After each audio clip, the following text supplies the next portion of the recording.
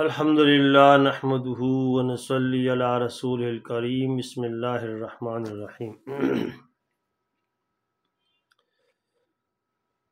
सवाल तो बहुत होते हैं, मेरे तलबा मुझसे सवाल पूछते रहते हैं और जितनी ये मेरी जो वीडियोज़ आपके पास आ रही हैं सर मेरे तलबा ही के सवालात हैं। और ये जो चैनल भी मैंने शुरू किया तो अपने तलबा ही के लिए उन्हीं के लिए कुछ दोस्तों की वजह से। अब यहाँ पर सवाल ये था लफ्ज़ अल्लाह के बारे में कि लफ्ज़ अल्लाह क्या चीज़ है? तो याद रखें, लफ्ज़ अल्लाह जो है, अल्लाह, ये अल्लाह ताला का इसमें ज़ात है। बाकी जितने भी नाम हैं अल्लाह के, रहमान है, रहीम है ये सारे के सारे अल्लाह ताला के सिफाती नाम हैं। और ये अल्लाह ही का नाम है अल्लाह। इसको इसमें ज़ात कहा जाता है। इसमें बड़ी हमत पोशीदा हैं। पहली बात, ये लफ्ज़ देखें जी, अलिफ, लाम लाम और हे पर मुश्तमिल है। अगर आप देखें तो इन लफ्ज़ों में, इन हरूफ में कोई नुक्ता नहीं है। अल्लाह ताला ने ये साबित करने के लिए कि अल्लाह ताला की ज़ात वाहदहू ला शरीक है। तो अपने नाम में भी ऐसे हरूफ का इस्तेमाल किया कि जो गैर मनकूत हैं। मज़बूत लफ्ज़ हैं, किसी नुक्ते के मोहताज नहीं हैं अपनी आवाज़ देने में भी। लिहाजा आप देखें, ये लफ्ज़ अल्लाह है। अगर इससे आप अलिफ हटा दें, देखें, अल्लाह। इससे आप अलिफ हटा दें तो क्या बन गया? लिल्लाह। गौर करें, दुनिया का कोई भी लफ्ज़ ले लें उसका एक हर्फ हटाएँ, लफ्ज़ बदल जाएगा। उसका माना बदल जाएगा। लेकिन अल्लाह एक ऐसा लफ्ज़ है कि आपने अलिफ हटा दिया तो क्या पीछे बच गया? अल्लाह ही का नाम बचा। लिल्लाह। इसी तरह, अगर आप एक लाम हटा दें, बन जाएगा लहू। अब देखें अल्लाह के लिए अल्लाह ही हुआ। अगर आप ये लाम भी हटा दें, बन जाएगा हु। ये भी अल्लाह हुआ।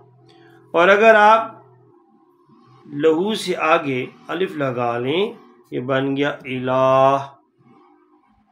लिहाजा कहा जाता है, अगर आप अल्लाह के लफ्ज को तोड़ दें तो इससे बन जाता है ला इलाहा इल्लल्लाह। यानी ये जो कलिमा है ये असल में अल्लाह ही का नाम है। आप देखें, यही चार हरूफ, अलिफ, लाम लाम और हा इस्तेमाल हो रहे हैं। तो जब अल्लाह के नाम को तोड़ के आप अलग अलग कर दें और इससे बन जाता है, ला इलाहा इल्लल्लाह। और जब इसको इकट्ठा कर दें तो इससे बन जाता है अल्लाह।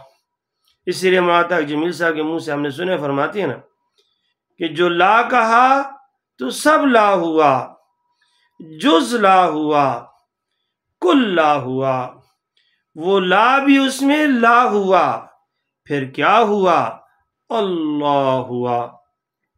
इसी तरह मेरे दोस्तों, मेरे भाइयों, मैं आपको बताऊँ कि अल्लाह ताला ने जिस तरह अपना नाम बनाया, इसी तरह अपने नबी का नाम बनाया, मोहम्मद या अहमद। देखें मोहम्मद। इसमें भी क्या लफ्ज है जी? मीम, हा, मीम और क्या आता है? दाल। अब गौर करें जरा, ये हरूफ भी गैर मनकूत है, मज़बूत हरूफ है, मज़बूत, ताकतवर, के ये भी आवाज़ देने में किसी नुक्ते के मोहताज नहीं है। लिहाजा कहा जाता है अगर आप मोहम्मद का मीम काट दें, मोहम्मद का लफ्ज़ है, इसका आप मीम हटा दें तो पीछे क्या रह जाता है? हमद, तारीफ़। और अगर यहाँ से हम से आप हा काट दें, क्या रह गया? मद्दा। मद्दा यमुद्दो, खींचना। हिदायत की तरफ़ खींचने वाला। और एक इससे मद्दा से मीम काट गया, दाल। दाल क्या होता है? रहनुमाई करने वाला दाल रहनुमाई करने वाला। लिहाजा मोहम्मद भी एक ऐसा लफ्ज है कि जिसको आप तोड़ते जाएँ, टुकड़े करें, नहीं टूटता। इसके माने बदलती ही नहीं है। अल्लाह ताला हमें समझ की तोफ़ी अता फरमाए। और हमें चाहिए कि हम अल्लाह के अहकाम माने और हजूर सल्लम की उम, की सुन्नतों पे अमल करें और अपनी ज़िंदगी में उन सुन्नतों को लेकर आए। जिस तरह अल्लाह का नाम महफूज है, मोहम्मद का नाम महफूज है। अगर हम अपनी ज़िंदगी में, अपने अमल में ला इल्लल्लाह, मोहम्मद रसुल्लाह को लेकर आएँगे, हमारी ज़िंदगी और हमारे आमाल, हमारी दुनिया और हमारे आखरत दोनों महफूज हो जाएँगे, जैसा कि सुहाबा के थे। सुहाबा के आमाल भी महफूज थे, उनकी दुनिया भी महफूज थी, उनकी आखरत भी महफूज थी। अल्लाह ताला हम सबको सही इस्लाम पर अमल करने की तोफ़ी की फरमाए। वमा इल्लल बलाग। जजाकल्ला खैरा